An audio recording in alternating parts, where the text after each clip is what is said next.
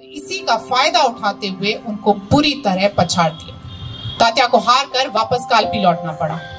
इधर झांसी में दीवान दुल्हाजू और पीर अली ने अंग्रेज़ों के लालच में आकर ओरछा फाटक खोल दिया। झांसी में अंग्रेज़ी सेना दाखिल हो गई। चारों तरफ़ हाहाकार मच रहा था, सब जगह आग लगाई जा रही थी। झांसी की सेना मरती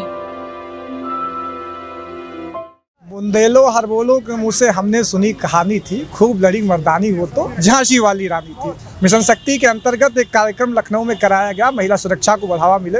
हमारे साथ इसमें प्रज्ञा जी मौजूद हैं जिन्होंने खुद इस कार्यक्रम में शिरकत की और रानी लक्ष्मीबाई का वो किस्सा सुनाया जो जब भी सुने तो आदमी के रोंगटे खड़े हो जाते हैं उस दृश्य को और महसूस होता है कि उस दौर में हम क्यों नहीं। प्रज्ञा जी से हम बात करेंगे। मैम सबसे पहले तो बहुत स्वागत है आपका। Thank you ma'am Uttar Pradesh सरकार एक बड़ा जो है आयोजन कर रही मिशन शक्ति को कैसे देख रही हैं आप उसको? ये बहुत अच्छी चीज़ है, क्योंकि महिलाएँ अक्सर अपने घरों तक ही महदूद रह जाती हैं और वो पढ़ती लिखती भी हैं इन सब वीरता के किस्सों को, पर असली ज़िंदगी में कुछ खास कर नहीं पाती हैं, क्योंकि कहीं ना कहीं बंदिशें आड़े आ जाती हैं या वो खुद भी कभी कभी बंदिशें मान लेती हैं। तो रानी के पास भी आप देखिए, आपने किस्सा सुना होगा।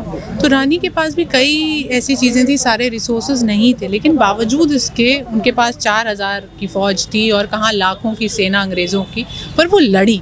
तो हमें इससे ये सीखना है कि लड़ना नहीं छोड़ना है। संघर्ष तो ज़िंदगी का एक एक पहलू है ही।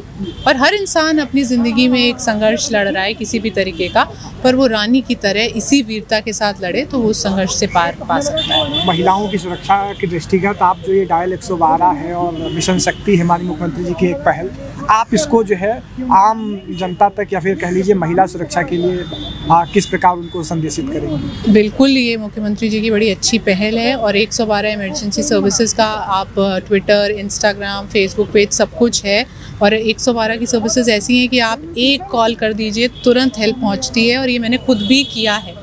तो इसलिए ये बहुत अच्छा एक इनिशिएटिव है। और अभी ये चार कार्यक्रम इसी सीरीज़ में और हैं।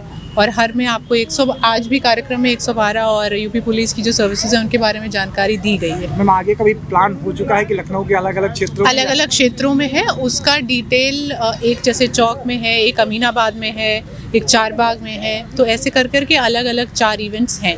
रानी जब भांडेरी गेट से बाहर निकली तो भारतीय इतिहास की एक अमर घटना हुई। झलकारी नाम की एक महिला सिपाही। हज़ारों साल नरगिस अपनी बेनूरी पे रोती है बड़ी मुश्किल से होता है चमन में दीदावर पैदा। अब शेर किसका है ये तो हमें नहीं मालूम ये बेहतर हिमांशु भाई बता सकते हैं। इकबाल का शेर है उनकी नज्म है तुलु इस्लाम उसका शेर है। लेकिन ये शेर आमतौर पर लोग पढ़ देते हैं। ये शेर उसके लिए होना चाहिए जो जो पारखी है यानी जिसके पास नज़र है यानी जिसने किसी बड़े आदमी को पहचाना हो। क्योंकि इसके पीछे एक कहानी है तो किस्सा को है तो कहानी सुना देते हैं। जी जी बिल्कुल। लंबी बाइट हो जाएगी। थोड़ा सा बातचीत ये नरगिस के फूल पहले उनकी बड़ी बेकदरी होती थी। मोहम्मद साहब ने उनको देखा तो उन्होंने कहा भाई ये क्या बढ़िया फूल है इतना सुंदर है तो इसको, इसके कदर करो सब लोग तो फिर सबने कदर करना शुरू किया। तो ये इसके लिए है कि हज़ारों साल नरगिस अपनी बेनूरी पे रोती है। बड़ी मुश्किल में होता है चमन में दीदावर पैदा। जी। हिमांशु भाई आज प्रोग्राम था मिशन शक्ति को लेकर और उत्तर प्रदेश सरकार की एक बेहतरीन पहल है महिला सुरक्षा को जी। तो आपका भी कार्यक्रम था। सबसे पहली बात तो आप महिला सुरक्षा के मद्देनजर मिशन शक्ति को कैसे देखते हैं? नहीं मैं उसमें तो बहुत सारी चीज़ें हैं लेकिन मुझे ये लगा मेरी जो भूमिका हो सकती थी कहानी किस्सा गो के बतौर तो हमें लगा कि रानी लक्ष्मीबाई हमारे देश में सबसे बड़ी फीमेल आइकन्स में से एक है और उनका जो शौर्य है जो उनका साहस है और जो उनका जीवट है उसे लोगों तक पहुँचना चाहिए और वो ऐसी कहानी है कि ज़रूर इंस्पायर करती है तो जो भी सुनेगा। तो हमें लगता है कि अगर वो कहानी सुनाई जाए और अवामी लेवल पे सुनाई जाए तो उससे बहुत फ़र्क पड़ेगा। तो ये सोच मैं इस मुहिम में शामिल हुआ और ये कहानी उसके बाद और भी अलग अलग इसी मिशन शक्ति के तहत चार कार्यक्रम और जैसा हमने असीम सर से अभी बात जी जी जी। तो वो भी केंद्र का बिंदु रानी लक्ष्मीबाई ही रहेंगी जी जी बिल्कुल रानी लक्ष्मी लक्ष्मीबाई क्योंकि इसी कहानी को एक तरीके से बिल्कुल मास लेवल पर पहुँचा देना। ओके रानी लक्ष्मीबाई जी को। तो आप हिमांशु वाजपेयी जी हैं जिनसे हम जिनका नाम तो खैर लखनऊ में क्या आप विदेश में भी कहीं पूछने के तारीफ़ अरे, मोहताज नहीं है। तो हिमांशु भाई सबसे पहली बात है आजकल महिला अपनी सुरक्षा को लेकर काफ़ी वो रहती है तो एक बड़ा कार्यक्रम है। जी। तो महिलाओं के नाम अगर कोई संदेश नहीं मेरा अ,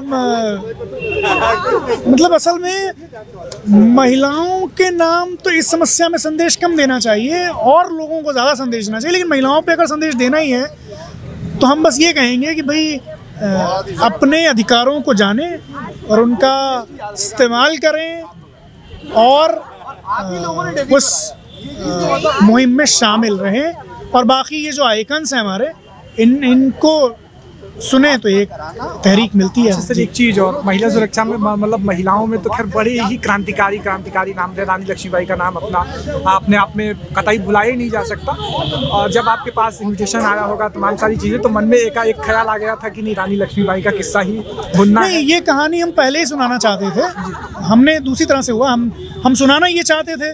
जब ये तैयार होने लगा तो फिर ये ये अवसर आया कि भाई इस, इस इसके साथ किया जा सकता है तो फिर। ठीक है बातचीत को छोटा ही सीमित करेंगे भैया भी व्यस्त हैं नहीं नहीं और नहीं, आपने इतना कभी भी कभी भी। आप बहुत अच्छा काम कर रहे हैं ये वॉक्सी टॉक्सी जो है हम अपना तो खैर क्या अपना छोड़ के हम बाकी हर इंटरव्यू जो आप करते हैं अभी आप वहाँ भी थे मैंने बिल्कुल उसको भी देखा और बड़ा अच्छा काम आप कर रहे हैं। बहुत शुक्रिया। बहुत शुभकामनाएँ।